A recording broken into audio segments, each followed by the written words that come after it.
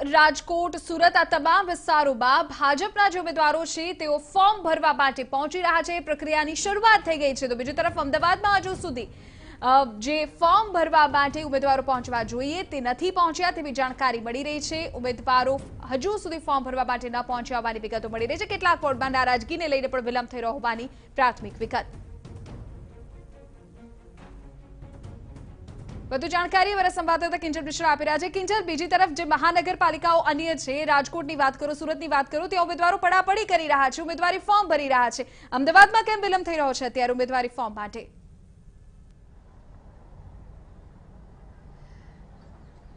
બિલકુલ વિધિ, અમદાવાદનું વાતાવરણ જો ભાજપની દ્રષ્ટિએ જોવામાં આવે, હંમેશા જોવા મળતું હોય છે કે એક શક્તિ પ્રદર્શનની સાથે ફોર્મ ભરાતું હોય છે, ઉત્સાહ હોય છે, પરંતુ આજે જોવા મળ્યું કે એલિસ બ્રિજ સિવાય ક્યાંય પણ આ પ્રકારનો જે ઉત્સાહ છે જોવા નથી મળી રહ્યો, નિરુત્સાહ જોવા મળી રહ્યો છે. ભલે ભાજપના નેતાઓ અને હોદ્દેદારો એ વાત સ્વીકારવા તૈયાર નથી કે કોઈ પણ પ્રકારની નારાજગી નથી, પરંતુ હકીકત એ છે કે ભાજપમાં નારાજગી છે, જે પ્રકારે ટિકિટોની પસંદગી કરવામાં આવી છે, ત્યાં લોકોને એવું ચોક્કસ લાગી રહ્યું છે કે જે બાદબાકી કરવામાં આવી છે જે વય મર્યાદા અને જે ટર્મ સિવાયની જે બાદબાકી થઈ છે, કેટલાક આયાદી ઉમેદવારો આવ્યા છે, તો કેટલાક એવા કાર્યકર્તાઓને ટિકિટ આપી દેવામાં આવી છે કે જે પાર્ટીમાં સક્રિય નથી, તો અનેક ફેક્ટર છે, અનેક મુદ્દાઓ છે.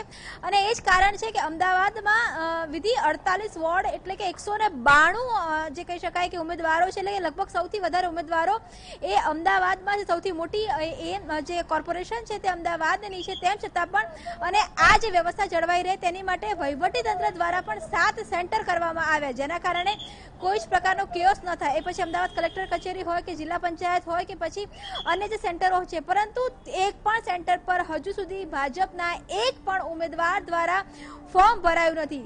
ક્યાંક નારાજગી જોવા મળી રહી છે, તો ક્યાંક ખાનપુર કાર્યાલય ખાતે મનામણાના પ્રયત્નો થઈ રહ્યા છે, પરંતુ વિજય મુહૂર્ત માટે ભાજપ હંમેશા માનતી હોય છે અને વિજય મુહૂર્ત સુધીમાં ફોર્મ ભરાય તેવો પ્રયત્ન હોય છે, પરંતુ અમદાવાદમાં જોવા મળી રહ્યું છે કે હજુ સુધી એક પણ ઉમેદવારે ફોર્મ ભર્યું નથી એ સીધું બતાવી રહ્યું છે કે. અમદાવાદની અંદર ભલે નારાજગીના સૂરને પાર્ટીના નેતાઓ નકારતા હોય પરંતુ અમદાવાદમાં વોર્ડમાં નારાજગી છે. બિલકુલ કિંજલ આગળ પણ આપણી પાસેથી અપડેટ લઈશું. અત્યારે અનેક જગ્યાએ વિરોધનો સુર દેખાઈ રહ્યો છે અને એ જ કારણ આ વિલંબની પાછળ બાંધવામાં આવી રહ્યું છે. એક તરફ નારાજ કાર્યકર્તાઓને બનાવવાના સતત પ્રયત્ન થઈ રહ્યા છે બીજી તરફ ઉમેદવારી ફોર્મ ભરવા માટેનો ઉત્સાહ અત્યારે અમદાવાદ મહાનગરપાલિકામાં ભાજપના ઉમેદવારોમાં દેખાઈ નથી રહ્યો.